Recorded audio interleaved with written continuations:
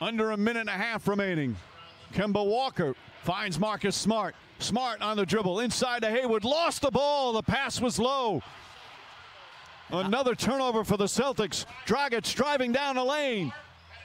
And Adebayo hurt his wrist, left wrist, and hand two possessions ago. He's holding on to it on the far side of the court. You can see him foul on extended. Jimmy Butler, four to shoot.